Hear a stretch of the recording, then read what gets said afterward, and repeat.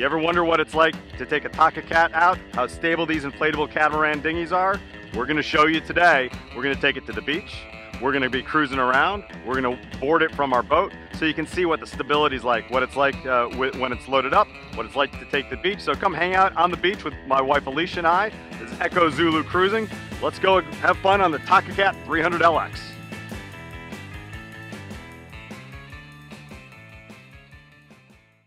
We stow the Takacat on the roof rack. It weighs about 29 kilograms. So underway, we have it tied down. And when we stop to use it, we both pull it off, pull it down the side, and place it into the water.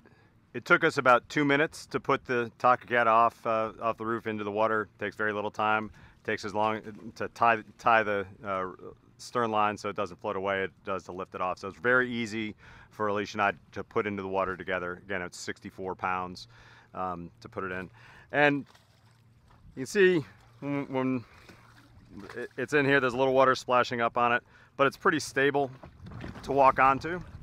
So I can stand on it, getting a little water on the bow when I'm up there. When I'm towards the stern, there's less. Uh, overall, it's very stable, very comfortable uh, to be able to, to, uh, to stand on. It's a good stable platform we have the ePropulsion Spirit 1.0 installed, and here I'm stepping off of the swim platform right onto the bow of the Takacat, which remains stable. We're able to get underway and walk right on.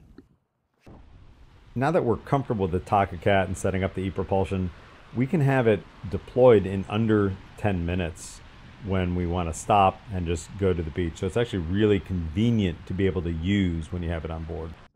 The Takacat's here on a beach and it's easy for one person to maneuver. So we can push it back a little bit into the water, get it out so it's just not right on the sand.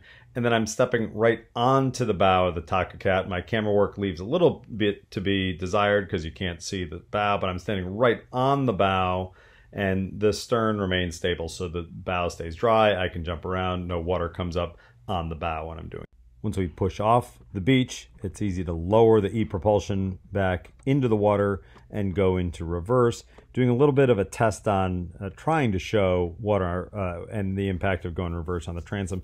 You can see on that little corner on the left-hand side of the screen, there's no water coming on. On the side that I'm sitting on, with my weight, there's about eight inches of, of water right that comes up along the side for a little bit of a wash, but there's very little there, and we're backing into a strong current. You can see this bow rider coming across the intercoastal. We're going to head towards that for a little wake test. If you find our content informative or entertaining, please like and subscribe, share with your friends. We really want to try and be a helpful resource to people. As you see, when we come up to this wake, we're going our full speed at 4 knots. It's going its full speed at about 30. This is a normal wake. We cross it without any problems. The Takacat has really consistent performance when we're up underway, when we stay dry, when we cross waves. Well, I'm doing the hard work of testing the Takacat. Alicia was taking advantage of the bow cushions on the Jeanneau NC 1095, as well as taking some photos to remind me of how I look shooting video. Because it was a nice day, we loaded up to head to the beach, Alicia and I and our gear weigh about 400 pounds, mostly me. And as you can see, as we're going through this with the load and the two of us, we stay dry the whole way. We could have more weight on board.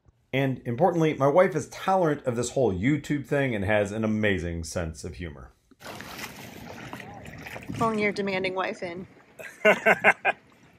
that shrew who makes me cut all of her vegetables into small bite-sized pieces.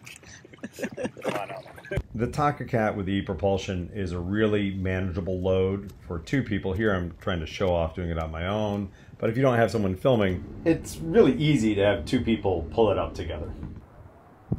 So the Takacat really has been a pretty awesome uh, and pretty stable uh, little dinghy.